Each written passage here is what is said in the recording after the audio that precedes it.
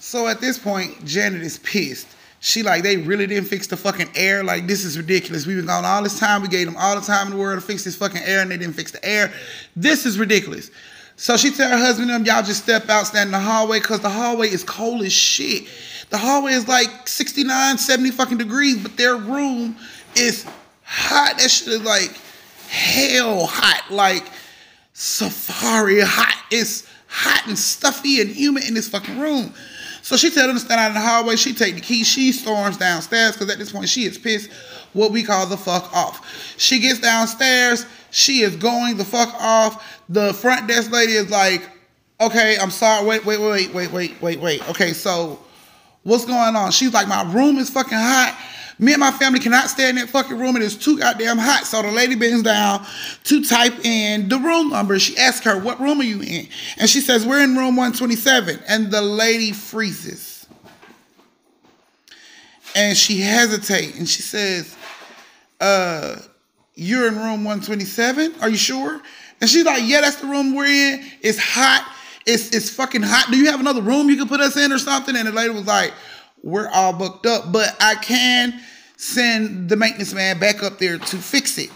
And Janet's like, okay, fine, send the fucking maintenance man back up there to fix it, but he better beat me up there because this is bullshit. So she storms back off to go back upstairs to her room.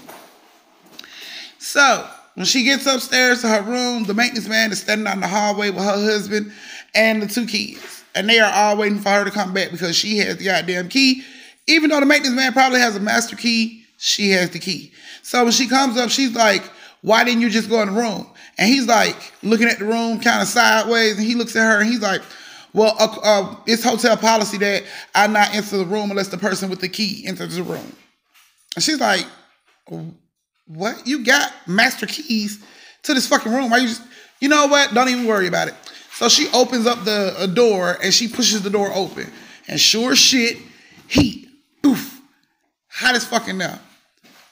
So we're gonna call this maintenance man Michael.